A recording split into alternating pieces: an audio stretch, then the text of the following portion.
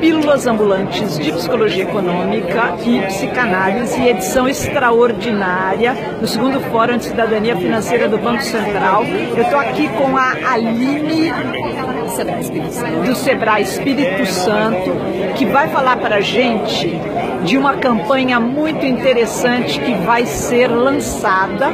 Você sabia? Chama-se Mutirão de Renegociação. Aline, conta pra gente um pouquinho, por favor. Ei, gente, eu sou a Aline Zanoni, do Sebrae Espírito Santo. Bom, o mutirão de renegociação que o Sebrae Nacional está lançando agora junto com o governo federal, ele vem ajudar os empresários a renegociarem suas dívidas tributárias e, em parceria com os estados, nós também vamos trabalhar a renegociação de dívidas bancárias.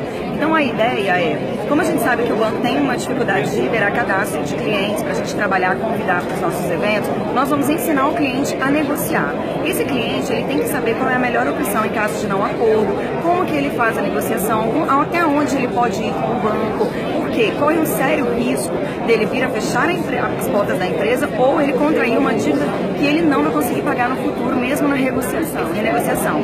Então a ideia é preparar esse empresário para que ele saiba até onde ele pode ir, que ele não volte a ficar inadimplente, porque ainda há risco de ele fazer uma renegociação e daqui a pouco ele voltar a ser inadimplente. Então esse é o trabalho que a gente está desenvolvendo lá, através de palestra, oficina e consultoria dentro da empresa. Muito obrigada, Aline. Olha a chance aí, galera. Valeu e boa sorte.